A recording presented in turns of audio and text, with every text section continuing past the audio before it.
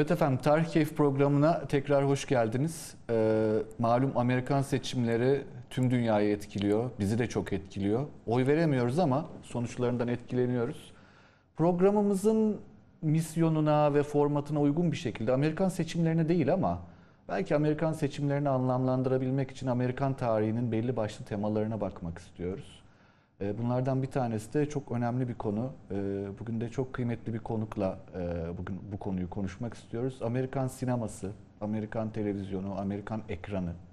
Ve Aydan Hocam burada e, bizlerle beraber Hacı Bayram Veli Üniversitesi'nden. Kıymetli Aydan Hocam hoş geldiniz, şeref verdiniz. Hoş bulduk. Bu Ne şeref güzel bana ait. yaptınız. Ee, Böyle önemli bir konu aslında. Hepimizin içinde yaşadığı, e, hepimizin bir şekilde çok etkilendiği, tüm dünyada da çok son derece gerçekten önemli bir sektör, sanat, eğlence alanı vesaire. Bir Amerikan sineması gerçeğinden bahsediyoruz. Ee, Amerikan sinemasını hocam neden bu kadar önemsemeliyiz? Böyle sorsam. Tabii.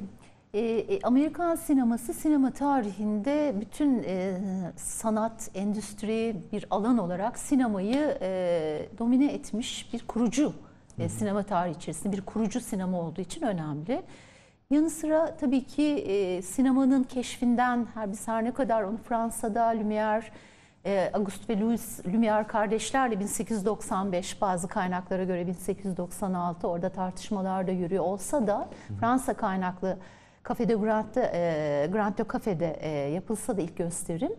E, biliyoruz ki tabii Thomas Edison'la başlayan bütün o icatlar tarihinde e, Amerikan sineması en baştan itibaren bir kere bu sahada var. Sonrasında bütün o süreç içerisinde e, e, bütün çabası e, bu sin- sinema sanatının bir propaganda aracı olarak da sadece bir sanat ve eğlence olmasının ötesinde bir propaganda amacı, e, aracı olarak da e, kullanıyor e, kullanabilme gücü bir kere Hollywood sinemasını e, önemli kılıyor. E, Avrupa ile e, haliyle biz hep bir Amerikan sineması ve Avrupa sineması karşılaştırmasını yaparız. Ve tabii ki Rusya, Rusya'da da çok önemlidir sinema tarihinde. E, Çarlık Rusyası'nın e, yıkılmasından sonra özellikle e, Birinci Dünya Savaşı'nın hemen öncesinde başlayan Rus sinemasındaki o e, önemli e, gelişmeler Eisenstein'le birlikte sinemanın o sanat e, gücünün kullanılması böyle bir e, sinema tarihinde üçlü yapı görünse de Amerika her defasında ki Birinci Dünya Savaşı'nın Avrupa'yı e, tabii etkilemesini de fırsat bilerek e, hep bir adım önde gitmeyi başarabilmiştir. Ön, yani bir önem verme aklı var değil mi hocam? Evet, yani Amerika'da ya bir saniye bu bu çok önemli olacak. Biz baştan e, sanki tedbirimizi alalım, altyapısını hazırlayalım e, diye düşünülmüş desek abartı mı olur Hiç bu? abartı olmaz. Sadece akıl değil, dediğim gibi strateji gece, e, geliştirebilme Hmm. becerisi. Çünkü o krizlere ve bütün o dünya tarihi içerisindeki beklenmedik zamanlara, olaylara karşı strateji ge- e, geliştirme becerisi. Devletin burada tabii ki çok büyük desteği ve kontrolü. E, bir diğeri de e, Hollywood'un yani bütün bu süreçler içerisinde aslında e, adım adım e, bütün bu stüdyo sistemi, yıldız sistemiyle birlikte aslında en baştan bunu planlıyor olması. Çünkü e, hemen baktığımızda e, özellikle 1910'daki devlet desteklerini çok iyi biliyoruz sinema tarihinde. Hollywood'a bu stüdyo sisteminin kurulabilmesi için. Orada 8 büyük şirketten hep bahsedilir. İşte o bildiğimiz klasik e, işte Paramount Pictures'tan tutun da işte şeye kadar e, bütün o e, bildiğimiz e, Metro Goldwyn Mayer, e, ondan Warner Bros. Gibi bütün o büyük şirketlere kadar aslında hepsinin çalışma koşulları, çalışma biçimleri, işte o Los Angeles'ta, Kaliforniya eyaletinde Los Angeles'ta kurulan Hollywood'un bütün hepsinin planlanması adım adım oradaki e, bütün e, işte üretim aşamasının planlanması da bu başarının Hocam bence Los Angeles'ın seçilmesinin özel bir sebebi var mı? Ee, yani çünkü daha doğu yakasıdır aslında Evet Amerika öyle ama hani şöyle düşün, şöyle düşünelim. Şimdi sinemanın ilk yıllarında sonuçta bu hep bir eğlence ve bir ticari şey olarak başlıyor. Hmm. Çünkü e, hem hemen dönüp bakalım yani Amerikan sineması neyi nasıl satarımla başlayan bir akıl aslında. Hep bir satma ve satın alma üzerinden Bir kurulmuş ticari tarafı bir var. ticari ve tabii ki yani biz biliyoruz daha e, işte bu e, fotoğrafla resimle ki sinemanın aslında tabii ki işte fotoğrafın hareketlenmesi resim ve fotoğraf çok özünü sinema sanatının barındırıyor ama e, dönüp baktığımızda tabii ki çoğalan şehirler iş gücü işçi sınıfı halk insanların eğlencesi ve boş zamanlarını dolduracak aktiviteler. Tabii sinemanın burada e, bir rol bir rol e, oynaması. E, ki Los Angeles'a da ilk başlarda bakıyoruz. Tabii ki Amerikan sinema tarihinde de aslında önce erkeklerin e, meyhanelerde başlıyor film gösterimleri. Ve erkeklerin aslında seyrettiği bir etkinlikken sonra kadınların ve çocukların da dahil olmasıyla birlikte aslında bu artıyor. Dünyada da öyle. İşte bu Nickelodeon'lar hep böyle bilinen ee, daha sonra e, işte gazinoların, meyhanelerin, tiyatro mekanlarının sinema salonlarına çevrilmesi ki bizde de böyledir. Türk Doğru, sinemasında doğru. da öyledir. İşte Muhsin Ertuğrul döneminde bütün o tiyatro e, şeyi e, salonları, tiyatrolar ve tiyatro e, şeyiyle birlikte bizde de filmler, sinema salonları açılmıştır. Yani burada Los Angeles e, özellikle e, çalışan kesimin de boş zamanlarını dolduracak bir eğlence, bir aktivite olarak e, tabii ki seçilmesi e, önemli. E, ama tabii ki en başlarda e, bir risk vardı. Tabii e, Hollywood sineması bu riski yıllar içerisinde hep en aza indirmek üzerine kurdu aslında endüstrisini. Bütün o türler, birbirine benzeyen filmler, bütün o çalışma koşulları e, bu riskleri hep en aza indirmek üzere kuruldu ama her zaman o risk devam etti. Hocam bir şey soracağım. Bu Tabii. konuşmanızın içinde geçti. Ben de çok e, takılırım buna aslında. Faust'ta da vardır ya daha başında Göte şeyi tartışır. Eğlence ve sanat arasındaki fark. Evet. Mesela Amerikan sinemasında hani daha çok siz eğlence tarafının e, önde olduğunu mu iddia edersiniz? Böyle bir denge ya da böyle bir ayrım yapmak doğru mu aslında? Şöyle, bilmiyorum. şöyle yani sinemanın e, e, pek çok unsuru bir aradadır. Eğlence bunlardan bir tanesidir tabii ki. Bir de ilk e, dönemlere bakalım. Yani böyle e, işte e, sokak gösterilerinde, karnavallarda, e, e, dışarıda izlenilen e, çünkü işte o görüntünün hareketlenmesiyle birlikte eğlencenin dışarıda olduğu, daha halkın içinde olduğu bir sanattan bahsediyoruz. Bu zamanla sinema salonlarına, belli bir sektöre içeriye hapse, e, e, içeriye alınmış bir sanattan bahsediyoruz. Haliyle tabii ki önce bir e, ticari e, tarafı sonradan keşfedilmiş. Önce eğlencelik e, pek çok diğer sanatlardan beslenerek başlamış bir sanattan bahsediyoruz. Ama haliyle bir teknoloji. Yani işte Edison'un keşifleri, Lumière kardeşler, Avrupa'daki keşifler, dünyadaki keşiflerle aslında sinema sanatının sanat özelliği özellikle işte e, Birinci Dünya Savaşı'nın hemen öncesine tartışılmış bir endüstri, bir sanat, bir bilim alanı. Yani sonuçta bunun bir bilimi var. Yani işte bütün mercekler, objektifler, kamera açıları, yani sinematografi dediğimiz, biçim dediğimiz şeyin kendisinin bilimle de buluştuğu ama içinde tabii ki eğlencenin bugün popüler kültürün en önemli unsurlarından bir tanesi olarak sinema. E, eğlencenin de olduğu, işte gençlerin ağırlıklı olarak bütün hedef kitlenin tarih boyunca da e, hem sosyalleşmek hem de eğlenmek için gittiği de bir alan. Aynı zamanda böyle de bir.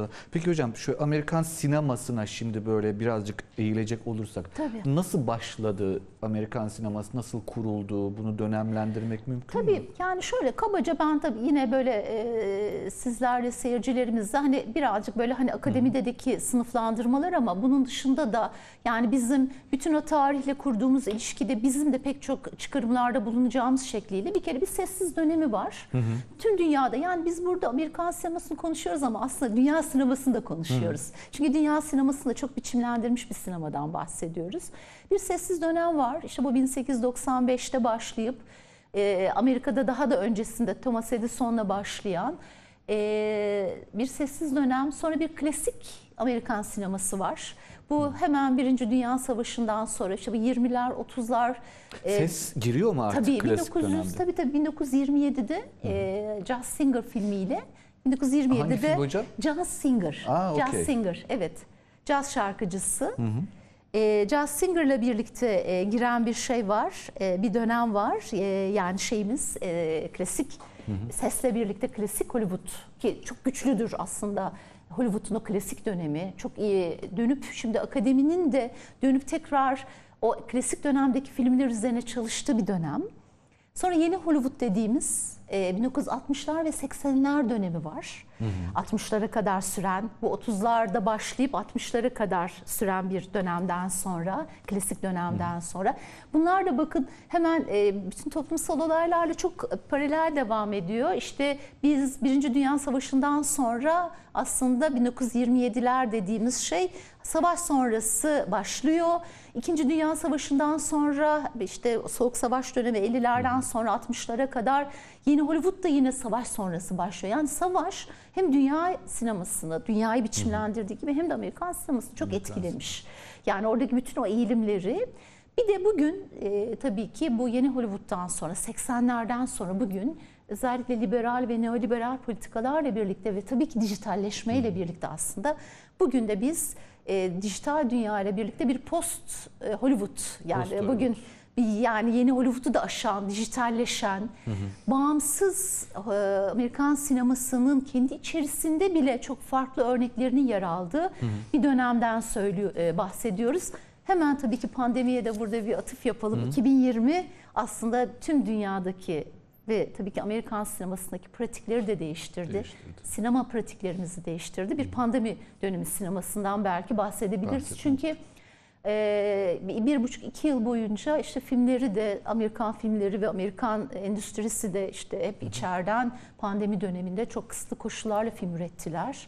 E, hepimiz e, online işte festivallere dahil olduk, online filmler izledik, online tartışmalara dahil olduk. E, belki bir de pandemi dönemini eklemekte Anladım. fayda var. Hocam şöyle bir geçmişine yani e, ilk kuruluş dönemine o zaman yeniden gidecek Tabii, olursak bu genel tabii. silsilenin üstünden. Mesela aklıma şey takılır hep. Yani bu bileşenleri nedir sinemanın? Mesela tiyatro mudur? Fotoğrafçılık mıdır? Tabii. Teknik dediniz, bilim Tabii, dediniz tabii, tabii, vesaire tabii. ama hani bir e, Tabii, tabii. sanatsal bileşenleri de olsa Tabii gerek tabii herhalde ki değil tabii mi? ki bir kere edebiyat tabii ki en temel e, kardeşlerinden bir tanesi sinemanın. Çünkü sonuçta sinemada hikaye anlatmaya, öykü anlatmaya dayalı bir sanat. Haliyle hikaye dediğimizde de ta işte eski Yunan'a kadar dönüyoruz. Tabii ki metinler ve edebiyat. Çünkü çok benzer şekilde hikaye ve öykü anlatılıyor. Ama burada ne olur hep bizim akademide de süren tartışmalarımız edebiyattan çok farklı.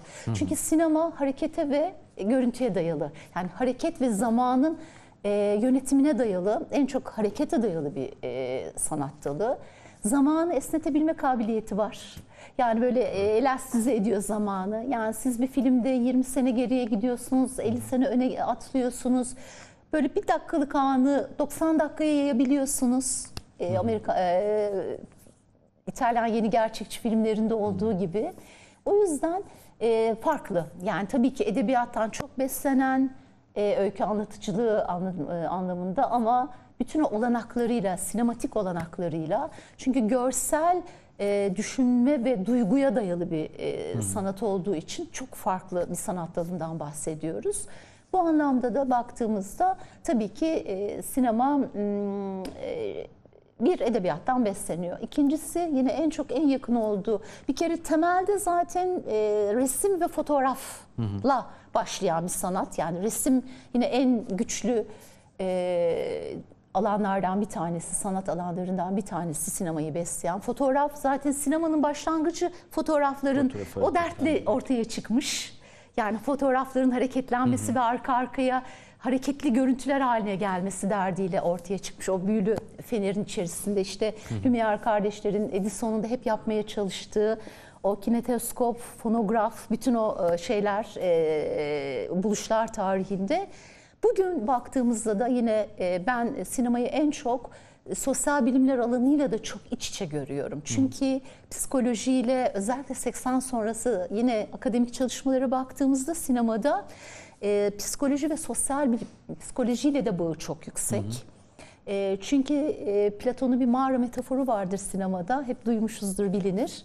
E, bilinçaltına da sadece e, bizim görünen dünyamıza değil işte bilinçaltına ittiğimiz o hayata dair kendimize dair bilinçaltına da yönelen bütün o kurduğu dünyayla karanlık salon işte o perdede buluştuğumuz imgeler e, bizim bilinçaltımıza da hitap eden bir sanat dalı olduğu için de psikoloji ve sosyal psikolojiyle de bağı çok yüksektir. Hemen son bir ekleme. Bugün özellikle yine 2. Dünya Savaşı'ndan sonra da biz de akademide de e, bolca da felsefeyle bugün çok çok e, güçlü bir e, sanat ve bilim e, alanı. Özellikle burada tabii ki Döloz'u anmamız gerekiyor. Gilles Deleuze Fransız felsefeci, yazar, e, e, düşünür.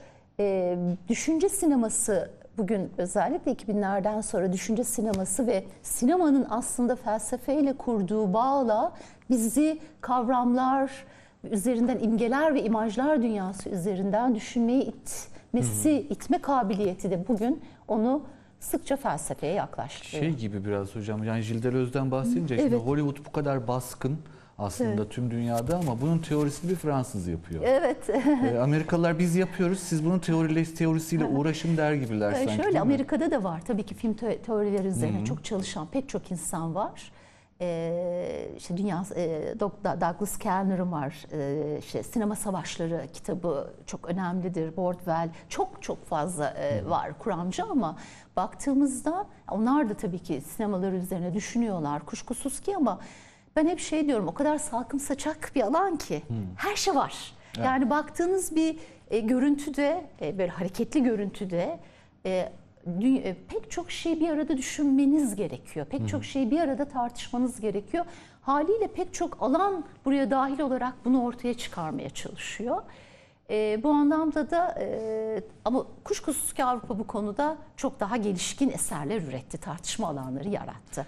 Öyle. Çünkü dünya sinemasının tarihi ve akımlara baktığımızda da öyle.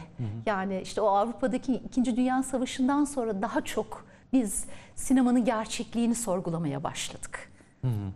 Çünkü bu gerçekçilik tartışmaları sinemada hep savaşlar sonrası çok daha e, hem akademide hem e, e, pratik e, anlamda sinema yapanlar arasında e, çokça dert edinildi. Hocam peki şöyle bir şey söylesem çok mu abartmış olurum? Yani mesela Avrupa sinemasıyla Amerikan sinemasını Hollywood'u karşılaştırdığımızda Avrupa sineması biraz daha işin sanat kısmına fazlaca meyleden, belki ticari kısmını devlete havale eden, işte desteklerle, sübvansiyonlarla Ee, ve şeyi de nedir onun adı? İşin eğlencelik kısmı, kolay tüketilme kısmında sanki birazcık daha Amerikalılara bırakmış gibi. Amerikalılar ise kendi kendine işleyen bir ticari sistemin içerisinde sanatı biraz geriye çekip kolay tüketime e, ve dolayısıyla işin ticarileşmesine mi daha fazla e, yatırım yaptılar? Yani işin açıkçası şöyle söyleyeyim. Amerika biraz daha basit ve kolay tüketilen, Avrupa biraz daha zor ve daha derinlikli bir sinema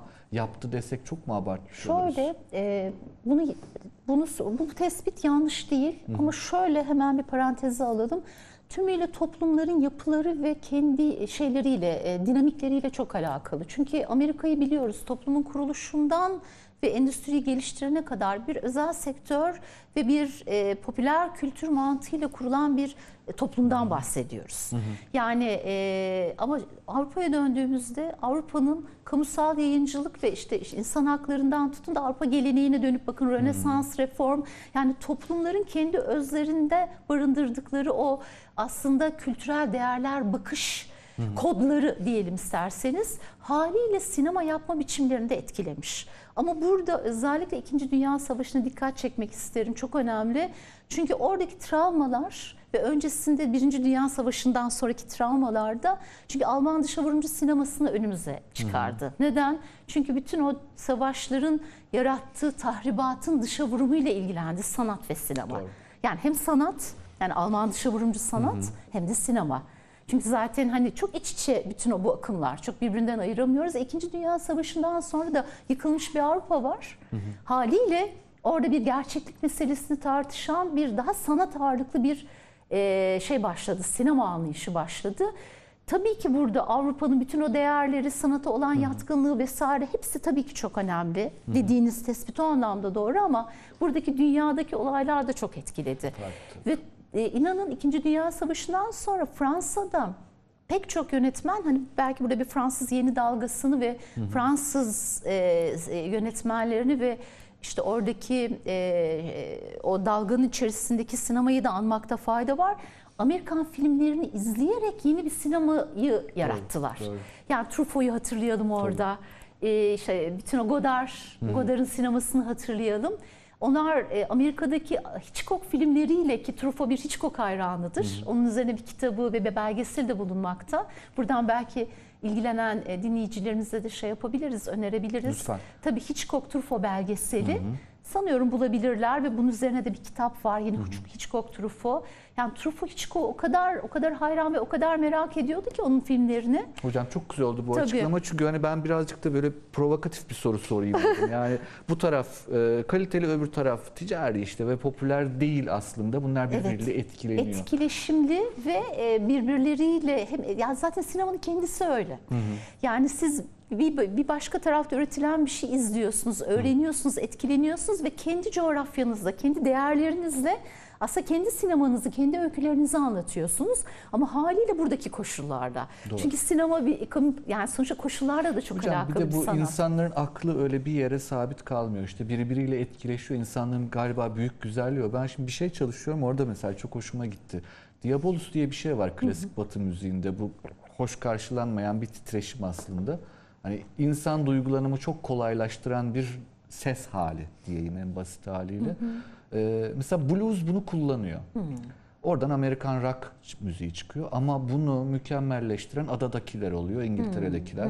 Ve onlar da işte Brit ne o? Brit Invasion diyorlar yani Britanya istilası. Adanın rock grupları bütün dünyayı işgal ediyor ama altında çıktığı şey blues. Blues. Ee, blues'daki şey de aslında klasik batı müziğine bir inkar, daha basit olana yönelim, daha nasıl söyleyeyim size sathi olan bir duygu arayışı vesaire ama geziyor yani insanlık geziyor, etkileşimleri geziyor ama ben fazla uzatmayayım söz sizin. Hocam şu sessiz sinema dönemi. Tabii. Ne anlatırız sessiz sinema Ya döneminde? en öne ondan- çıkan şeyler tabii en önemli nedir? çıkan şeyleri söyleyelim. Tabii hepimiz bütün şeyler de biliyor. Chap Chaplin burada tabii ki bizim hepimizin en önemli. Keystone şirketi ve onun ürettiği komik, komik filmler, komediler sessiz dönemde. Burada da hemen e, Sessiz Sinema kitabı Nilgün Abisel hocamızın yine ilgilenenlere hemen önerelim. Orada müthiş hocamız bütün detaylarıyla, ayrıntılarıyla o e, sinema tarihçiliği e, bütün detaylarıyla harika bir sinema tarihi kitabıdır ve sessiz sinema tarihi kitabıdır. E, bakıp edinebilirler. Burada tabii ki türler, e, ilk filmler de öyle, hep komedi. E, çünkü e, sinema ilk tarihlerde, ilk zamanlarda hep kendini anlatmış. E, Fabrikayı anlatmış, bahçeyi anlatmış. İşte trenin gara girişi ilk filmimiz hatırlayalım. E, o da Grand Cafe'de niye var? E, işte bir mekanda yapılmış o gösterim, bir ücret karşılığı yapılmış, seyircileri toplamış. Ondan önce gösterimler yok mu? Var ama bütün sinemanın bileşenlerini e, barındırdığı için ilk, İlk. sinema tarihine geçmiş. E, işte tren garları, fabrika çıkışları, bahçeler, insanın gündelik hayatı. İşte Bertov'u hatırlayalım, Kameralı Adam filmi. Bütün kamerasını alıp işte dünyayı çeken e, e, bir e, yönetmeni anlatmış. Haliyle Sessiz Dönem'in ilk filmleri bizim saf sinemada dediğimiz görüntülerle, hareketle insanın hayatını anlatan, içinde küçük komik unsurların olduğu daha çok belgesel türünde örnekler. E, buranın da tabii ki en gelişkinliği hepimiz biliyoruz. Her ne kadar Avrupa kökenli, İngiliz kökenli de olsa Charlie Chaplin'in Amerika'ya geldikten sonra ürettiği filmler çok önemli. Hangileri hocam mesela birkaç şey Tabii söylesek tabii örnek? tabii modern zamanlar yine çok önemli baktığımızda. Keats, Yumurcak çok önemli. Yine e, Charlie Chaplin kendisi pandemim sanatçısı biliyoruz. Kendi ailesi de sanatçı kökenli Charlie Chaplin'in. E, onun dışında e, Altına Hücum yine Charlie Chaplin'in önemli filmlerinden. E, bunları e, sıralayabiliriz. Büyük Diktatör Hit- sonra büyük, mı Tabii geliyor? daha sonra Büyük Diktatör daha sonra geliyor. Keystone'la çektiği bütün aslında e, büyük e, bütün filmler burada e, büyük tren soygunu yine sessiz sinemanın en önemli ilk filmlerinden. E, Bunu hemen not edelim. E, Sessiz dönemin özelliği ne? Sessiz dönemin özelliği yine Amerikan stüdyo sisteminin ve Amerikan sinemasının hakimiyetinde ilerliyor. Yani burada aslında Amerikan sinemasının gücünü bize anlatan bir dönem. 1910'daki desteklerle birlikte buradaki şirketlerin kuruluşu yine çok önemli. Keystone bunlardan bir tanesi ve tabii ki sese kadar yarattığı yıldızlar. Tabii burada yine yıldızlardan bahsetmemiz gerekiyor. Amerikan yıldızlarından, sessiz dönem yıldızlarından bahsetmemiz gerekiyor. E, Max Sennett bunlardan bir tanesi, yine önemli isimlerden bir tanesi. Yine Chaplin'in e, ve işte Laurel Hardy belki hatırlarlar e, bizim kuşak birazcık daha yaşı azıcık daha geçkinci olan ama gençler de özellikle sine sinema konusunda sinefil olan gençler de biliyorlar Laurel Hardy mutlaka. Ee, 1927'ye kadar böyle bir sessiz sinema dönemi var. Hollywood'un da burada aslında bütün şirketlerini kurarak kendini geliştirdiği, sinema dilini geliş- geliştirdiği bir dönem.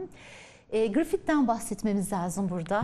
Evet, önemli. E, David Griffith, Amerikan sinemasının en önemli ilk hikayeye, öyküye dayalı sinema anlatan yönetmeni. Onun filmleri Hocam bir bunu ulusun- açalım mı biraz? Ne demek Tabii. hikayeye dayalı? Tabii şöyle e, öykülü sinema yani hikayeyi, öyküyü görüntülerle, görüntülerle e, harekete dayalı ama edebiyata da dayalı, e- edebiyattan da aldığı bu giriş gelişme sonuç klasik anlatı dediğimiz yani başı olan e, belli bir e, olayla başlayıp daha sonra o olayın bir doruk noktası yaptığı sonra çözümlendiği dediğimiz bir klasik anlatı e, e, anlatıcılığı diyelim. İşte e, Hollywood bu sessiz dönemde bu klasik anlatı hikayesini kuran e, ve e, sesle birlikte bunu daha da klasik dönemde çok daha da gelişkin bir hale getiren bir dönem. Griffith de bu hikayenin, e, bu hikaye anlatıcılığının David Griffith de en önemli yönetmenlerinden bir tanesi. Bir Ulusun Doğuşu yine çok önemli e, filmlerden bir tanesi. Sinema tarihinin de önemli filmleridir. E, Burada tabii çok tartışılmıştır da, ırkçı bulunmuştur be- belli yönleriyle.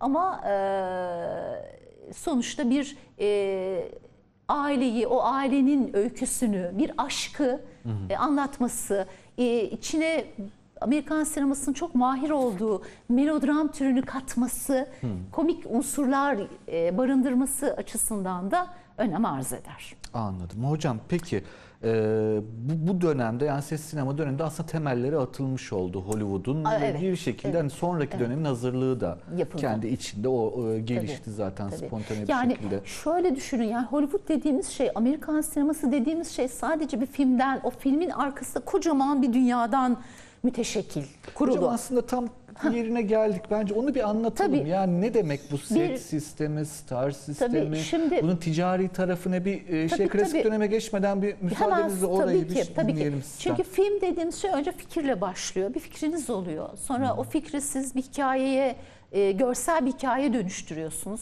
Bu sırada bir yapımcıya ihtiyacınız oluyor. Bir yönetmeniniz oluyor. O yapımcıyla birlikte onu çekeceğiniz bir stüdyonun yani sponsor desteklerinizin olması gerekiyor. İşte bütün bunları kuran bir sistemden bahsediyoruz. Yani Hollywood dediğimiz, Amerikan sineması dediğimiz şey tam da bu sistemi e, bütün unsurlarıyla kurabilmiş e, sistemin içerisinde bütün unsurların sadece bu işi yaparak kendi hayatını devam ettirebildiği ve sonraki filmlerini de çekebildiği, bu garantiyi de verebilen bir sistem. Yani stüdyolar kurulmuş. İşte Los Angeles'ta Hollywood kurulmuş. Siz orada birbirine benzeyen yani çıkıp bir yönetmenin ya da yapımcının değil mi filmin çekeceği mekan arayışlarını ona ayağına getirmiş bir aslında sistemden bahsediyoruz. Bir şehirden bahsediyoruz. Yani burada işte o filmi çekerken kullandığınız kostümler, makyaj, bütün o yemeğiniz, e, sonra senaryo yazarınız. Yani bütün o filmi oluşturan bütün o ek- ekip bunu besleyecek, bunu yönetecek o yapım ekibiniz, o reji ekibiniz, o kurgucunuz. Doğru. E, bütün bunları kurmuştur sessiz sinema döneminde. Biraz da tabii ki riskler alarak da zaman zaman. Ama bunu kurarken de nereden faydalanmış? Yine tabii ki Hollywood işte Amerikan aklı dediğimiz şey bu. Kendi daha önce bilindik türlerinden, bilindik kalıplarından, radyo oyunları, edebiyat, romanlar, yani televizyona gelene kadar, ikinci dünya, 1940'lara kadar e, bütün o işte mesela Hitchcock, Alfred Hitchcock bu konuda yine mahirdir. Müthiş böyle üçün böyle arkada kalmış ama popüler e, e, polisiye romanları alır, onları yeniden uyarlar. Yani burada romanlarınız, edebiyatınız, daha önceki ürünleriniz halk tarafından da Tiyatro bilinen. hocam sesle Tiyatro- beraber girdi değil Tabii, mi aslında tabii, ağırlıklı tabii, olarak? tabii. Onun öncesinde yani pan, Charlie Chaplin pandomim sanatçılığı yetiyor aslında ki o da tiyatronun bir tiyatronun bir- ama. yani yine tiyatro oyuncuları haliyle çok tabii ki tiyatroyu burada tabii ki anmadan geçmeyelim sinemanın yine en yakın ka- kardeşlerinden. Ee, tabii ki tiyatro her daim besledi. Bugün de besliyor. Bugün de besliyor ama sesle birlikte tabii ki Amerikan sinemasına Broadway'in sesin ve müziğin gelmesiyle birlikte tabii ki 27'den sonra sesle birlikte e, daha çok hani Broadway üzerinden de tiyatronun da Amerikan sinemasına dahil olduğunu görüyoruz. Yani çünkü ben hep şey düşünürüm de hocam yani Amerikan sinemasında herhalde bir İngiliz etkisi. Çünkü yani İngilizler dediğiniz Shakespeare'in çocuklarıdır eninde sonunda. Hani ne bileyim Alman, İtalyan müzik yapar, Fransız şiir yazar falan da Tabii. İngiliz'in tiyatrosu vardır Tabii yani. tabii tabii. E, tabii o- ama işte yine kendi kod kültürel kodlarından taşıdığı Onu bir bir, şey bu. aktarıyor. Tabii. E, biz kendi Yeşilçam geleneğimizi düşünelim. Ben arada kendi sinemamızı da birazcık hani çünkü Tabii, tabii, bizde de Amerikan karşılaştıralım tabii ki. sinemasıyla ilişkili hani hala bugün tabii ki Amerikan filmleriyle pek çok yönetmenimiz hem popüler kanatta film çeken hem de daha sanat tırnak içerisinde daha bağımsız kanatta film çeken pek çok yönetmenimiz de Hollywood'un, Amerika'nın o klasik dönem filmleri ve bugün bağımsız dönem filmlerini bolca seyrediyor ve etkileniyorlar. E biz de Yeşilçam geleneğini düşünelim. O da tam bir klasik anlatı Doğru, geleneğidir. doğru. O da Hollywood'a dayanır Hollywood'a zaten. dayanır zaten. Yani bizim Amerikalı Şerif Gören'in bizim öyle bir plato geleneğimiz yok herhalde hiç o- olamadı ama biz Olamadı. biz hala endüstrileşemediğimiz için yani biz hala ama Yeşilçam bizim hep kurucu sinemamızdı. Yani orada biliyorsunuz 60'larda yüzlerce bugün çok bugünden çok daha fazlaca film üretildi. Ama 500-600'lere yaklaşan film sayılarından bahsediliyor 60'larda. Çok ciddi rakamlar. Çok yani. ciddi rakamlar. E orada da o Yeşilçam'ı kuran bazen alaylı bazen işte Metin Erksan gibi daha mektepli olan yönetmenlerimiz mutlaka Hollywood ve Avrupa filmlerini çok Ne seyrettiler. kadar, ne kadar azlanıyoruz değil mi hocam? Bu ne kadar kıymetli bir adamdır Metin Çok, Aksan. çok, yani çok, başka evet. birisi hakikaten. Başka Böyle birisi, Sanki evet. ben e, o zamana ve o mekana ait değilmiş gibi Öyle hissederim öyle. onu yani. Zaten de çok kavgaları olmuş bu yüzden. Bugün tekrar dönüp dönüp biz de akademide tez yaz- yazıyoruz. Tekrar Metin Erksan'ın tıpkı klasik filmlere dönüp Amerikan Akademisi'nin yeniden yeniden dönüp John Ford filmlerine bakması, Howard Hawks filmlerini yeniden yazması, yeniden tezlerde çalışması gibi biz de bugün dönüyoruz Metin Erksan'ın filmlerine tekrar bakıyoruz. E, Bakılası gerçekten Öyle, bakılası. öyle. Pek plato çok şey var. konuştuğumda şey geldi aklıma hocam. Kendim kendi kendime gülümsedim biraz önce. Şeyde e, Casablanca'da mesela şeyi açmış. Hatta Amerika'nın eski ticari ateşesi oradaki aslında Fas kökenli bir Fas kadın. kökenli. E, Casablanca filmindeki Rick'in e, barını, Barını. açmış oraya. Aynısı. Aynısı. Rick'in barı. Yani tabii gidenler de şey zannediyor. Yani Rick'in barı zaten buradaydı. Film burada çekildi. Halbuki bu Los Angeles'ta, Los çekildi. Angeles'ta Yani çekilen. platodan tabii, alıp tabii, oraya alıp oraya yapılıyor vesaire. tabii. E bugün hep var yani pek çok Amerikan e, aktörüne dair değil mi? Onlarca popüler kültür mekanı, nesnesi yani bu transmedya anlatıcılığı dediğimiz hikayesi var. İşte Marilyn Monroe'dan tutun da Değil mi? bugün değil mi? Bizim Yeşilçam'daki işte bütün o Türkan Şoray geleneğine kadar biz bugün bütün hayatımız içerisinde o barları, mekanları, yıldızları dahil ediyoruz. Ama şurada unutmadan önemli bir şey söylemek isterim. Hollywood hani çok stratejiktir dedim ya hep bir şekilde. Şimdi bakın dikkat edin e, o saf sinema sessiz dönem belki buradan klasik döneme atlarız. Klasik dönem bir süre sonra kendini tekrar etmeye başladı. E, Ticari anlamda söylüyorum. Sanat anlamında değil. Başladığı andan itibaren bakın ses gelmiş. Yani bir e, bir bir, bir şey ses daha sonra renk gelmiş. Bakın siyah beyazdan. Renk ne zaman geliyor hocam ilk başta? ee, 1900 o- yani şöyle e, bir- bir- 1940'ların başında yani 30 35 yani şöyle renkli bir takım ürünler bilir çalışmalar var. Ama bunun yaygınlaşması Yaygınlaşması. 36 37 yani 40 40'lar 40'lar bizde de öyle 36 37'de işte 40'lardan sonra renkli filmler. Renk geliyor arkasından bakın büyük perde geliyor Şimdi bunlar hep ticari stratejilerle kurulmuş aslında unsurlar. Geniş perde, sonra üç boyut geliyor. Bakın bugün 3'e 4 ekliyoruz, 5 ekliyoruz. Yani kendini hep e, Bir şekilde daha geliştiriyor yani aslında. daha çok seyirciye, daha ticari başarıya, e, sadece ticari olarak da değil, daha çok insana dokunabilmeye de e, hedefine koymuş bir sinemadan bahsediyoruz. Ki tüm dünya sinemasında olduğu gibi. Öyle. Hocam şöyle yapalım mı? Tabii. Bir kısacık ara verelim. Ondan Olur. sonra klasik döneme geçelim, Geçelim, müsaadenizle. olur. Tabii ki. Efendim, hemen çok hızlı e, birazdan geliyoruz. Amerikan sinemasında klasik dönemi e, bir kere daha konuş e, e, birazdan konuşacağız.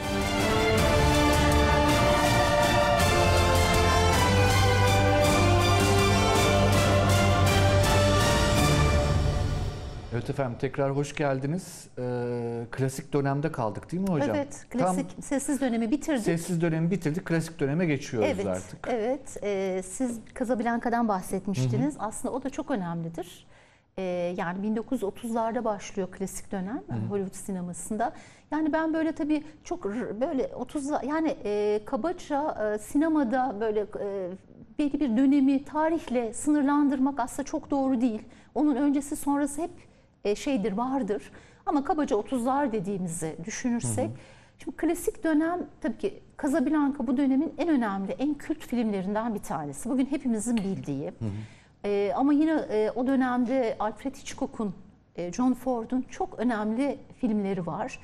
Klasik dönemin en önemli özelliği e, Hollywood'da tür sinemasının artık e, gelişkin ve dünya sinemasına da örnek olacak şekilde ortaya çıkması. Hocam ne demek Türk sineması? Tür sineması ne demek? Şu demek yine hep en baştaki e, stratejiler ve Hollywood'un stüdyo sisteminin kendini garantiye alma refleksini düşünerek e, açıklayalım isterseniz. E, çok fazla film olunca çok sayıda bunları sınıflandırma ihtiyacı duyuyor Hollywood. Ve bunları sınıflandırırken de yine stüdyo sistemine, yıldız sistemine ve ticari olarak daha çok seyirciye ulaşma hem kendi iç piyasasında hem yurt dışında daha çok izleyiciye, seyirciye ulaşma çabasıyla e, bu filmleri sınıflandırma ihtiyacı duyuyor.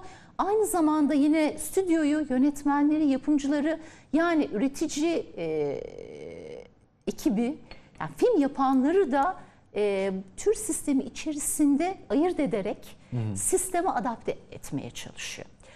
Tür dediğimiz şey zaten sanattan, edebiyattan da bildiğimiz. Yani işte belli özelliklerine uygun olarak filmleri e, ayırt ediyorsunuz ve o özelliklere uygun olarak filmleri çekiyorsunuz. O filmlere uygun olarak anlaşmalar imzalıyorsunuz. Çünkü tabii ki sinema tarihi, Amerikan sinema tarihi aynı zamanda da işte prodüksiyon firmalarıyla birlikte yapılan anlaşmalar ve anlaşma krizlerinin de olduğu bir tarih. Bunu biliyoruz. Ee, burada da iki tür yine çok ön plana çıkıyor. Yine klasik dönemde biri melodram geleneği Hollywood'un. Ee, çünkü işte İkinci Dünya Savaşı, yani 30'larda başlayan ekonomik kriz tüm dünyada ve Amerika'da bildiğimiz üzere e, bu ekonomik krize karşı yine sinemanın geliştirdiği devletle birlikte politikalar, işte burada aile kurumunun yüceltilmesi, e, ondan sonra tabii ki bireyselleşme, bütün o kapitalist sistemin aslında unsurları, bireyselleşme, tüketim ve e, İkinci Dünya Savaşı'ndan sonra da yine klasik sinema içerisinde e, buna bağlı olarak da insanların ki bunun müzikal türünde çok görürüz bu ekonomik krize karşı e, dengelenmesi, moral ve motivasyonların korunması özellikle orta sınıfların.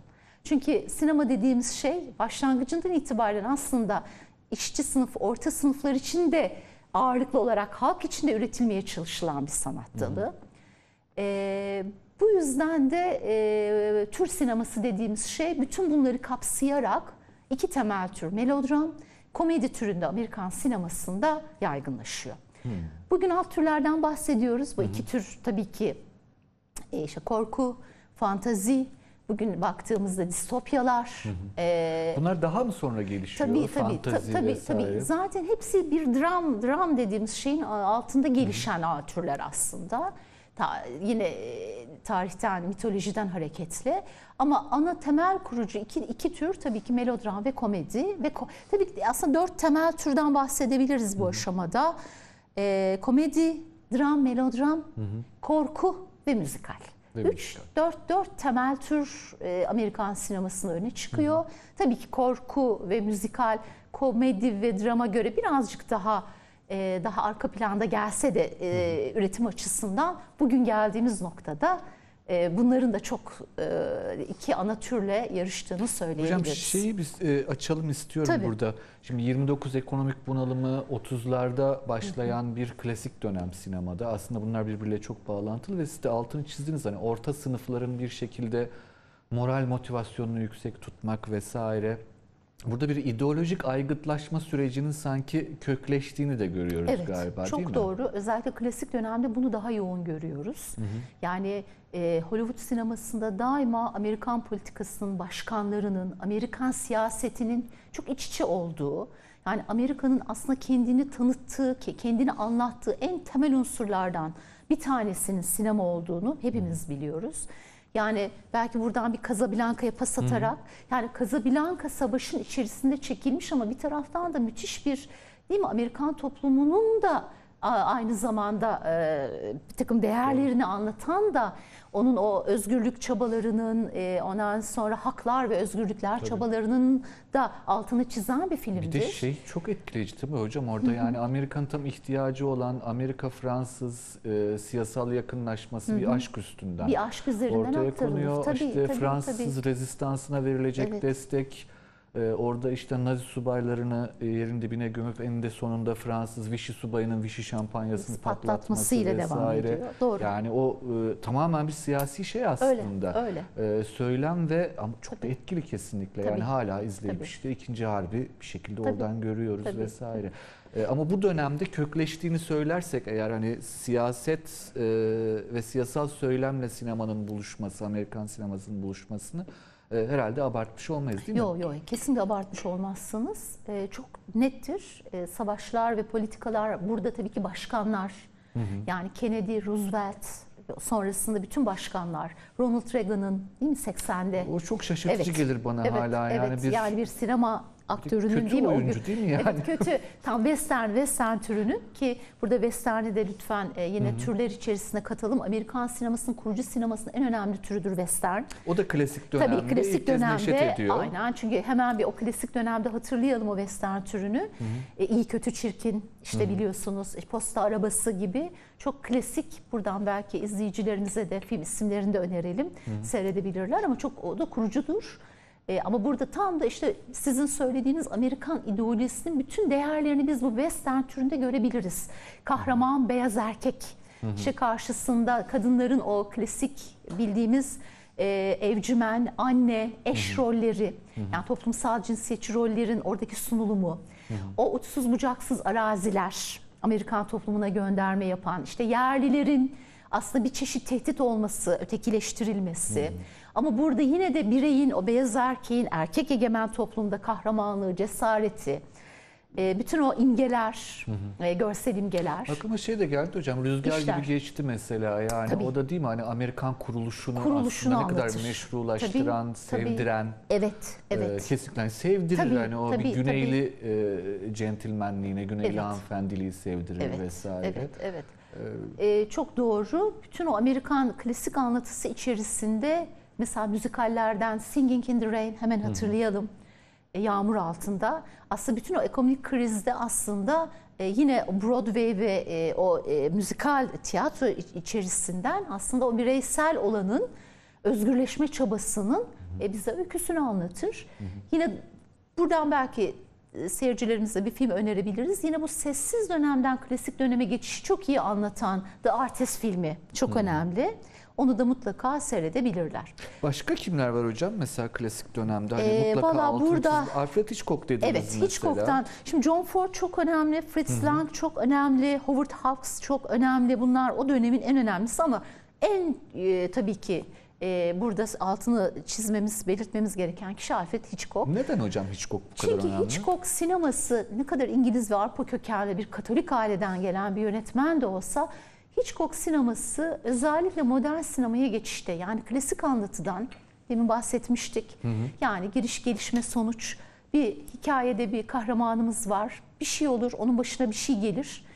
Daha sonra o başına gelenleri çözmekle uğraşır. Mutlaka yanında bir yardımcısı vardır. Bunları yaparken dolanır. Bu bir doruk yapar. Sonunda mutlaka iyi ya da kötü de bitse bu sonuç sonlanır. Bu klasik anlatıyı bozan yönetmenlerden bir tanesi. Yani modern anlatı unsurlarını sinemada klasik anlatı unsurlarıyla birlikte yan yana ve çok ustaca kullanabilen bir isim olduğu için Hitchcock önemlidir. Hemen onun e, e, şeylerini hatırlayalım, birkaç filmlerini. filmini evet lütfen Tabii söyleyin söyleyelim. olur. Tabii tabii çok önemli. Birincisi sinemanın kendisini de anlattığı için arka pencere. Rear window. window. Tam da sinema sanatının ne olduğunu anlatır bize. Orada bir fotoğraf sanatçısının ayağını kırdıktan sonra kendi penceresinden karşı pencerede meydana gelen cinayetleri aydınlatılması öyküsüdür ama bize orada Amerikan orta sınıfına ve Amerikan toplumuna dair müthiş bir eleştiri alanı da açar. Bir diğeri Kuşlar filmi mutlaka hatırlarsınız. Vertigo yine Rope. Rope filmi mesela tek mekanda çekmiştir. e, üç üniversite öğrencisinin işlediği bir cinayeti aslında bir mekanda e, o cinayetin ortaya çıkma öyküsüdür. E, tek mekanda da geçer. Deneysel tarafı çok yoğundur e, filmin. O tek mekanda müthiş o kamera açılarıyla bize sinemanın olanaklarını da anlatır. Yani sinematografik olanaklar da sinemanın e, en önemli e, unsurlarından bir tanesi. Hitchcock bunu hem Kuşlar filminde hem diğer bütün filmlerinde müthiş kullanmıştır. Kendi özel çekim ölçekleri vardır. Sinema dünyasına armağan ettiği. E, kendisi mutlaka her filmde birkaç saniye görünür, imzasını atar o filmlerde. Kuşların ilk sahnelerinde gördüğümüz gibi. Ve televizyonda da ki çünkü biliyoruz 40'lardan sonra televizyon da sinema dünyasını özellikle Amerikan toplumunu da etkilemiş bir kitle iletişim aracı. Çünkü sinemanın kendisi de bugün dijital dünyada olduğu gibi pandemide konuşuyoruz ya sinema salonları kapanacak mı acaba? Her şey dijitale mi dönecek? Dediğimiz bir çağ o dönemde televizyon için geçerliydi. Acaba sinemanın sonu mu? Hiçbir zaman sonu olmadı. Biz yine salonlarda film seyretmeye devam ettik, edeceğiz. O dönemde Hitchcock televizyonda da film üreterek polisiye ve korku türünde e, önemli bir yönetmen olarak karşımıza çıkar ama en önemli e, dediğim gibi özelliği mühendis kökenli olmasına verdiği bir şeyle o biçimci e, dehasını filmlerinde e, çok iyi kullanmıştır. Öz ve biçim dengesi Evet. de zaten Hitchcock'ta görünen. Peki hocam Fritz Lang ve John Ford bunları Tabii neden bu kadar önemsiyoruz? Çok önemli. Evet John Ford da öyle. Ee, yani müthiş e, Amerikan orta sınıfını ve ailesine dair e, müthiş bir anlatı alanı bize sunar. E, Fritz Lang de öyle baktığımızda müthiş o hem dışa vurumcu sinemanın ögelerini kullanarak hem de çünkü Amerikan sineması bir taraftan da hep bugün de böyle aslında geçmişte de böyleydi e, sevgili hocam. Hep orta sınıflar için daha çok yoksul ve orta sınıflar için yani Amerikan toplumunun genelini oluşturan sınıflar için hep ya sen de kahraman olabilirsin. Bir gün sen de buna erişebilirsin, zengin olabilirsin, kahraman olabilirsin. Ee, işte eğitim alırsan sınıf atlayabilirsin, sen de kazanabilirsin. Ee, idealini, imgesini aslında yansıtır. İşte bütün bu bütün bu e, vurguları Amerikan toplumu içerisinde en ince ayrıntılarıyla anlattıkları için önemlidir bu yönetmenler. O e, western'in e, bütün unsurlarını çok iyi kullandığı için e, özellikle e, sinemada ve Amerikan orta sınıfını ve ailesini anlattığı için önemlidir. Bize aslında edebiyattan da biraz beslenerek e, çünkü sinema bir taraftan da görünmeyenin, ayrıntıda gizli olanın da değil mi kamera maharetiyle ortaya çıkarıldığı bir sanat ya. Onu göstermesinin yanında o geniş mekanları da bize e, anlatan yönetmenleri olduğu için karşımıza Çok çıkar. önemli bu hocam. Ya bu sınıfsal geçişkenlik imkanları üzerinden aslında sınıfsal farklılıkların bir şekilde üstünü örten bir sinema ekolünden bahsediyoruz. Yani ne bileyim Evet. işte aklıma geliyor işte bir Working Class Hero diye bir şarkıyı duyarsınız. Orada size tam tersini söyler değil mi Tabii, Britanyalı? tabii, tabii. Hayır sana git adam öldür diyorlar sınıf atlaman için. Halbuki biz sınıf atlamayacağız bilmem ne. İşçi sınıfı kahramanı çıkar. Ama burada tamamen e, bunun üstünü kapatan, herkesin bir şekilde sınıf atlayabileceğini e, ima eden ve bu yüzden de umut pompalayan Bir sinema. e, bir sinema ekolünden bahsediyoruz. Ama bahsediyoruz. istisnaları da var herhalde bunun. Tabii ki biz zaten bugün dönüp baktığımızda bağımsız. Çünkü şimdi 60'larda yeni Hollywood. Tam bahsedeceğiz biraz klasikten sonra Geçelim geleceğiz. Geçelim. hocam. Ama burada şunun altını çizmem lazım çünkü bu yönetmenlere haksızlık etmeyelim lütfen. Bütün bu sınıf atlama çabası içinde e, her ne kadar yer yer bunun üstünü örtmekle birlikte aslında orada bireyin düştüğü bütün o çıkmazları, açmazları, bütün o bireyin yaşadığı problemleri de anlatan bir sinema. Orada birey de çok önemli. Çünkü burada biz bireyin de aslında bütün bu sınıf atlama çabası içerisinde nasıl kendini unuttuğu, nasıl o, o bütün o toplumun o bireyi getirdiği noktayı da görüyoruz. Bu açıdan da önemli bir sinema. Yani sadece şunu yapmıyor bu filmler. Haliyle tabii ki Amerikan ideolojisini üretiyorlar değerli hocam. Ama bir taraftan da bütün bunları yaparken bireyin o içerisinde toplumun, ailenin, çocuğun, gencin yaşadığı çıkmazları, açmazları ve patolojik durumları da bize eee, bugüne uzanan süreçte artan oranlarda ele alıyorlar. Mesela bugün Joker'i düşünsenize Joker filmini. Bir taraftan bize değil mi bütün o e, e, Amerikan ideolojisinin içerisinde pek çok şeyi anlatırken bir taraftan da e, aslında bireyin yaşadığı açmazları çıkmazları da anlatan Ama da bir film. daha yeni değil mi hocam? Bu Tabii, tabii. 60'lar sonrası. Tabii, tabii. Sanki hatta belki 68, belki Woodstock tabii, tabii. etkisi. Yani şeyi anlatmak için bugün bugüne taşıdım. Yani o gelenek o dönemden başlıyor. Bireyi unutmuyorlar. Birey bu yönetmenlerin de birazcık kendi sinemalarını ve kendi, bütün o stüdyo sistemi içerisinde kendilerini de kattıkları bir yer. Evet. Peki hocam buradan hadi ne olursunuz Yeni geçelim. Hollywood'a geçelim. Yeni Hollywood'a. Tabii 60'larda başlayan e, aslında bütün bu stüdyo e, sistemin içerisinde e, yani bunun dışında kendi bütün e, dolaşım ağını kurmuş, kendi desteklerini almış, parasını bulabilmiş bir sinemadan değil tam da stüdyonun içerisinde, stüdyo sistemin içerisinde, yıldız sistemin içerisinde. Çünkü müthiş bir yıldızlar geçidi de var. Yani işte Humphrey Bogart hatırlayalım değil mi? E, Gene Cale demin bahsettiğimiz filmlerden hareketle. Bugün pek çok yıldız, e, Marilyn Monroe yine e, bütün o yıldızları da e, kullanarak ama yeni yıldızlar da yaratarak o stüdyo sistemin içerisinde yine Hollywood'un artık aynı hikayeleri anlatmaktan uzaklaşıp aslında yönetmenlerin ve yaratıcıların, yazarların kendi özgün hikayelerini de anlattığı bir e, yeni dalga Hollywood ya da yeni dalga Amerikan sineması diyebileceğimiz bir dönem var. 60'lar ve 60'ların ortası mı sonu mu? Sonları sanki, 60'ların değil başında başladı. Yani aslında bu da yine dünyadaki hareketlerden bağımsız değil. İşte 60 dönemi hatırlayalım öğrenci ve işte gençlik hareketleri, feminist hareketler, kadın hareketleri bunlardan hiçbiri bağımsız değil.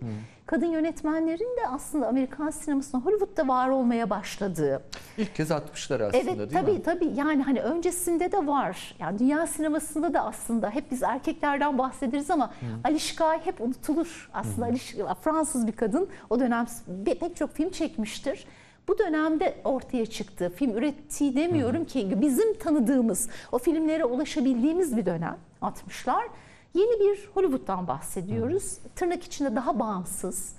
Bağımsızlıktan kastettiğimiz şey şu tabii ki stüdyodaki bir takım şirketlerden bağımsız destekler bulan, daha bağımsız, daha açık uçlu metinlerin ve öykülerin anlatıldığı, e, burada yine starların daha e, klasik dönemdeki starlardan farklı, daha bizden hikayelerle birlikte bizden oyuncuların olduğu bir e, yeni Hollywood'dan bahsediyoruz. Ama en önemli özelliği yeni Hollywood için baktığımızda bir kere hi- hikaye anlatım tarzı farklı. Artık Türk sinemasından uzaklaşıyor. E, daha melezleşmiş türlerin iç içe geçtiği, yani farklı türlerin aynı hikaye içinde buluştuğu. Yani e, burada belki e, şöyle anlatalım. Woody Allen, işte Quentin Tarantino e, gibi böyle birazcık daha zihnimizde e, oluşacak e, isimlerle birlikte e, onların filmleriyle birlikte de kavrayabileceğimiz David Lynch, David Fincher gibi işte Dövüş Kulübü'nde olduğu gibi. E, öykülerin ve hikaye anla- anlatma tarzlarının değiştiği bir Hollywood'dan bahsediyoruz. Ne değişiyor hocam? Yani öykülemede ne değişiyor Birincisi mesela? artık biz doğrudan hikaye anlatımından uzaklaşıyoruz. Artık kırılmalar oluyor hikayede. Ee, bir anda e, biz hikayenin içerisinde e, bambaşka soyut e, ya da karakterin e, hikayeyle kurduğu bağı değiştirecek nesnelere, imajlara, imgelere, onun daha bilinçaltına ne yapabiliyoruz? Ulaşabiliyoruz. Zaman kırılımları oluyor hikayede. E, hikayedeki konular değişiyor. İçerik değişiyor. İçerik değişiyor. Yani konular artık böyle daha çok tanıdık konular olmanın ötesine geçiyor. Daha bireysel, daha ailenin içinde, o bireyin ailenin içinde bireyin de çok daha kendi içinde yaşadığı konulara dönüyor. Starlar değişiyor. Ee, yeni starlar tabii ki bu yeni Hollywood, mesela hocam? birlikte. Yeni Ee, Hollywood'da? yani hemen şey yapalım, e, hemen dönüp bakalım e, kendi star e, şeyimizde e, mesela Woody Allen'ın kendi oyuncuları, Kendi oyuncuları. kendi oyuncularını düşünün. İşte Mia Farrow'u düşünün mesela e, baktığımızda. Ya da e, Tarantino'nun yani orada biz aslında daha önce popüler sinemada gördüğümüz bir erkek oyuncu John Travolta'yı e, değil mi e, şeyde Pulp Fiction'da çok bambaşka bir rolde Bambaşka, görebiliyoruz kesinlikle. ya da işte e, oradaki bütün o starları görebiliyoruz. E, daha sıradan tabii bu arada e, sesle birlikte tiyatronun ve Broadway'in de katkısını, katılımını biliyorsunuz hani e, 30'lardan sonra görmüştük ya burada tabii tiyatrocuların da tabii yine özellikle sefer tiyatro yani daha bağımsız tiyatro yapan kişilerin de bu bağımsız sinemada Amerikan sinemasında yer aldığını görüyoruz. E, yani daha Brechtian, e, daha böyle e, bağımsız ve e, daha Avrupa ekolündeki bir, bir takım tiyatrocuların da destek verdiğini görüyoruz Amerikan sinemasına. Mekanlar değişiyor. Daha minimalist bir sinemadan bahsediyoruz. E, yani işte o büyük e, platolar yerine daha evler, daha kişisel mekanlar, şehrin sokakları, daha doğal aydınlatmalarla birlikte şehrin içinde akan hikayeler görüyoruz parklarda. Bir şekilde platodan çıkıp aslında Daha minimalist gerçek. tabii evet. tabii daha minimalist bir sinema var. Bunun da zaten arkasında yine tabii ki o ta 2. Dünya Savaşı Fransa'dan gelen yeni dalga var. Biz hep yeni dalga sinemalarından bahsederiz e, 60'lardan sonra işte yeni Türkiye sinemasında olduğu gibi yeni İran sinemasında olduğu gibi yeni Hollywood yani yeni Amerikan sinemasında bu yeni Hollywood'la birlikte karşımıza çıkıyor. Yani bütün o işte stilistik ögeler, o estetik ögeler değişiyor. Teknik imkanlar Teknik herhalde imkanlar çok artıyor. artıyor. yani. Tabii mesela kameranın çok daha hareketli olduğunu görüyoruz. Sars, sars yani sürekli oynayan, yerinde durmayan bir kamera var. Ee, işte karakterin gerilimini, e, karakterin e, kendi içerisinde yaşadığı değişimi, dönüşümü, krizlerini anlatmak için e, gerilim, komedi ve melodram unsurları iç içe geçiyor bu anlatımda. Yani biz sadece bir melodram izlemiyoruz klasik sinemada olduğu için ya da sadece başlı başına bir komedi filmi izlemiyoruz. Filmin içerisinde bir melezleşme, türler arasında bir melezleşme var ve bu melezleşmeyi yer yer komik unsurlarla, yer yer melodramik unsurlarla bazen son derece korku ve fantastik unsurlarla da görebiliyoruz. Ee, yani yeni Hollywood'u bu anlamda ve tabii ki filmin dolaşımı yani e, işte bütün o bağımsız e, stüdyodan bağımsız yapımcılar ve e, şeylerle destekçilerle birlikte filmin tabii ki dolaşımı, dağıtımı da daha bağımsız bir şekilde yönetmenlerin bazen kendi imkanlarıyla bazen tabii ki daha yerel, yerel bazlı daha ufak dağıtım şirketleriyle dolaştığı bir sinemadan ki burada festivallere belki bir pas atalım. Tabii ki festivaller dolayımıyla aslında tüm dünyada dolaştığı bir sinemadan bahsediyoruz. Şöyle değil mi aslında hocam bu yani yeni Hollywood dediğimiz aslında bir şekilde Hollywood'un hegemonyasının da kabul edildiği ama kendi içinde daha bağımsızlaşmış e, unsurların da artık oluşmaya, Oluşmaya başladığı başladı. ama dünyada da artık ağırlığını koyduğu bir dönem. Çünkü Tabii. herhalde dünya sinemasından da pek çok ünlü aktörün, aktrisin artık Hollywood'a gitmeyi bir amaç edindiğini Hatta belli yönetmenlerin Hollywood'da iş yapmak istediği artık ve bunun hep için çabaladıkları bir, bir dönem, dönem çok doğru. alıyor. Bu geçmişte de böyleydi. Chaplin'de, Hitchcock'ta, pek çok starda olduğu gibi bizim kendi sinemamızda da. Çünkü orada bir endüstri var. Müthiş çalışan bir endüstri. Orada öğreneceğiniz çok şey var. Kendinizi ifade edebileceğiniz. Yani bizim burada bağımsızlıktan kastettiğimiz bu da çok tartışmalı. Pek çok akademik çalışma ya da sinema yazarı da akademisyen de bu bağımsızlığı hep tırnak içerisinde tartışmıştır. Yani çok da bağımsız görmezler. Ama sonuçta burada yeni bir hikaye anlatma biçimi, yeni bir e, film e, e, endüstriden e, ayrıksı bir film dağıtma, e, yaratma, bir paylaşma biçimi olarak belki görebiliriz. E, daha yaratıcı tırnak içinde. İşte senaryo yazarlarının kendi e, anlatmak istediği öykülere daha çok imkan tanıyan, e, bunun için bir alan açan ki Hollywood'un da desteklediği, yani ana akım sinemanın da desteklediği bir film biçiminden, e, bir dağıtım ağından bahsedebiliriz. Peki hocam bu hemen aynı dönemde bir de karşımıza bu fantastik sinema çıkıyor değil mi? Yani uçan adamlar, zıplayan yaratıklar Yaratıklar, vesaire. tabii, tabii. Ee, bu, bu, bu nedir? Nereden çıktı? Nasıl Ya o- bu oluştu? hem işte bütün bu Hollywood'un içinde yeni hikaye anlatma ve yeniye olan iyi ihtiyaç. E, çünkü bir süre sonra kendini tüketiyor ya anlattığınız her şey. İkincisi dünyanın gidişatıyla teknolojiyle çok alakalı. Yani çok alakalı. İmkanlar, artıyor İmkanlar değil mi? artıyor. Elimizde yani. İmkanlar artıyor. Sizin olanaklarınız, düşünme olanaklarınız artıyor.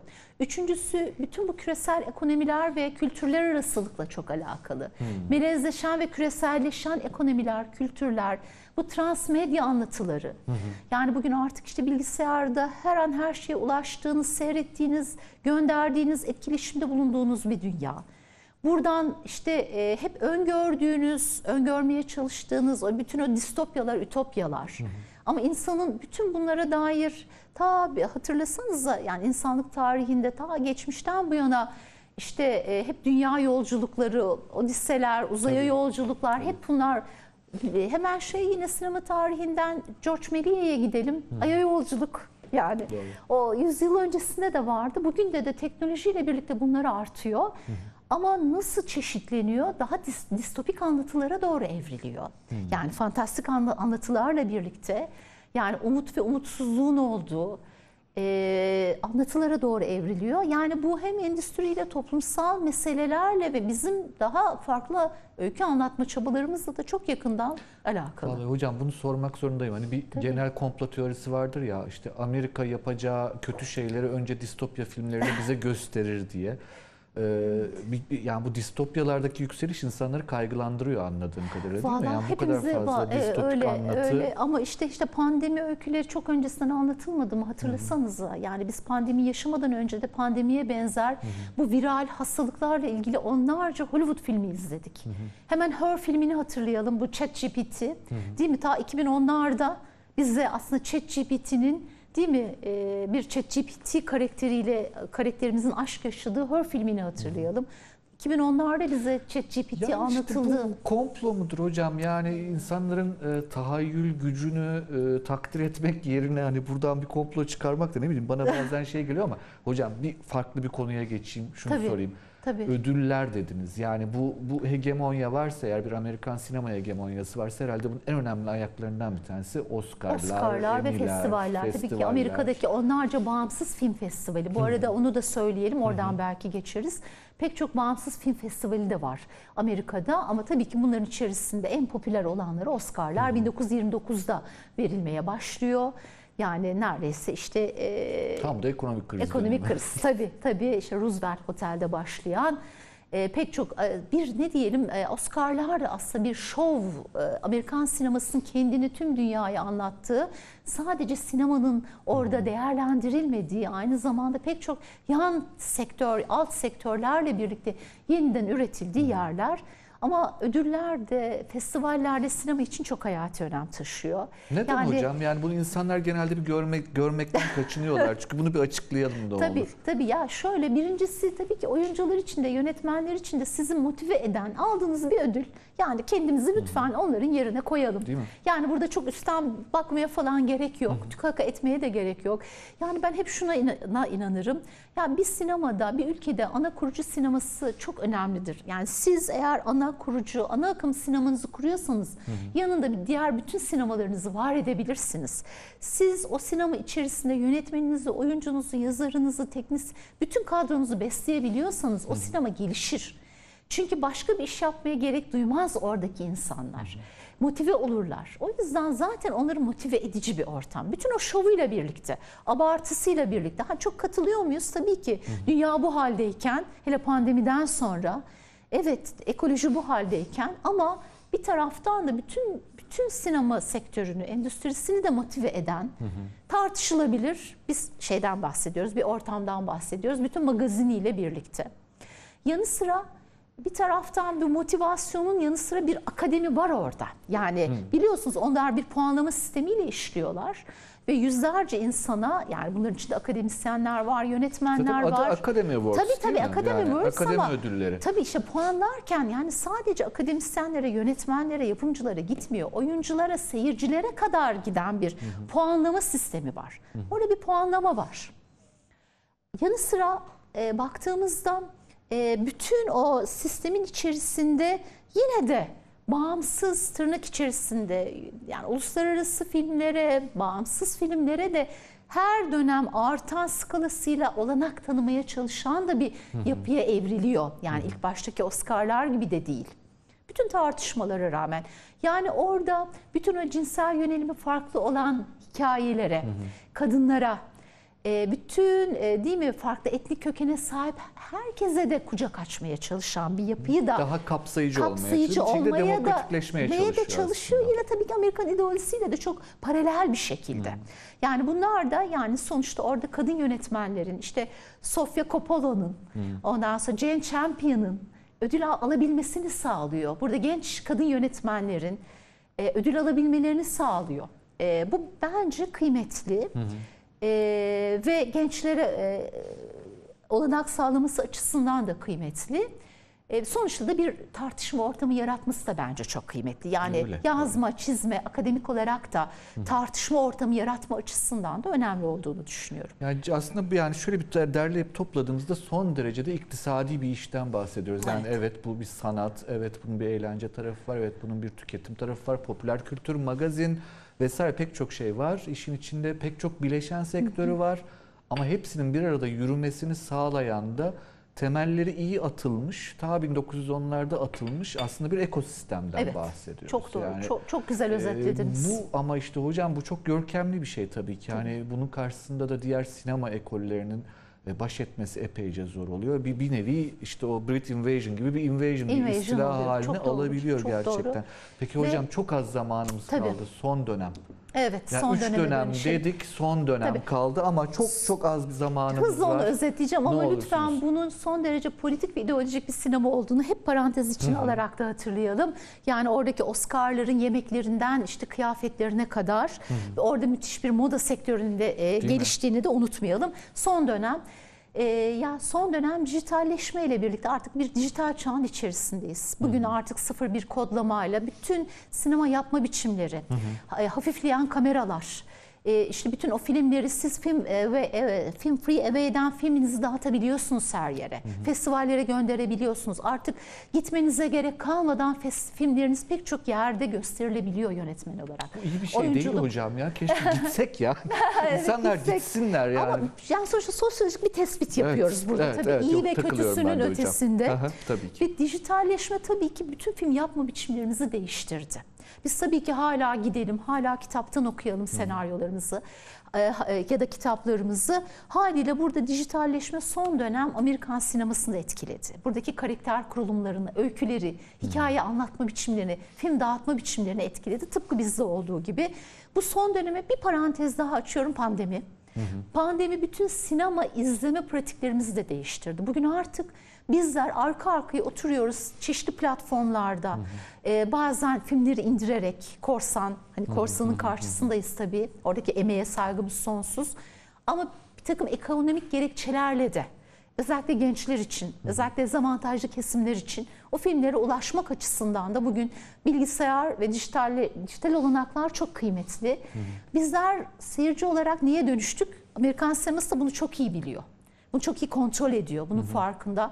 Bir kere çok e, işte oburca izleme dediğimiz bir kavram var. Binge watching diyoruz böyle. Arka arkaya izliyoruz. İşte arka arka 3-4 tane film izliyoruz. Ya da dizi tüketiyoruz. İşte bu dijital platformlarda filmlerle dizilerin bugün bir dizi sektöründe düşünürsek iç içe geçiyor olması. Yönetmenlerin hem dizi film çekerek hem film üreterek aslında yak, yakınsamaları yani bugün yakınsama kavramı da çoklukla kullanıyoruz iletişim alanında. Ee, sadece türler değil bütün o öykü anlatma biçimleri de yak- yaklaşıyor birbirine. değişiyor. Haliyle e, bunlar tabii çok değişti. Bugün çoklu ortamlar artık anlatının hani ben size klasik anlatı, modern anlatıdan ve postmodern anlatıdan bahsetmiştim ya. Artık anlatı dikeyleşiyor. Yani yatay bir anlatıdan film Dikey evreninin film evreninin yatay bir anlatısından dikey bir anlatı gerçeğiyle karşı karşıyayız. Haliyle bunlar bizim ve Amerikan sinemasının tabii ki bütün son dönem pratiklerini etkiledi. Hocam çok çok teşekkür ediyoruz. Ben yani bu teşekkür kadar ederim. kısa bir zaman içinde bu kadar geniş bir konu ancak bu kadar anlatılabilirdi. Ben teşekkür Ağzınıza ederim. sağlık. İyi ki geldiniz. Çok teşekkürler. Ee, Evet kıymetli izleyiciler, e, Amerikan sineması, Amerikan ekranının tarihini e, bu kadar kısa sürede böylece anlattı hocam. Ee, Sizlere de çok teşekkür ediyoruz. Haftaya yine aynı gün aynı saatte görüşmek üzere efendim. İyi geceler.